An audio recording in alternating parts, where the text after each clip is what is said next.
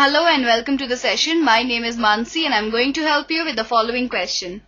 The question says, write the following decimals in the place value table. A part is 19.4, B part is 0.3, C part is 10.6 and D part is 205.9.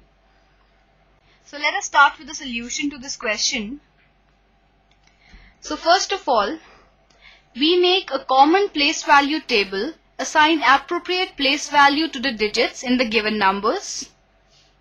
So for the A part that is 19.4 we have the place value of 19.4 is 1 tenths, 9 ones and 4 tenths. Hundredths place it's 0.